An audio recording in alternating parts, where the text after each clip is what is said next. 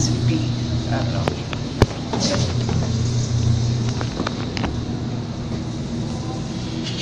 know.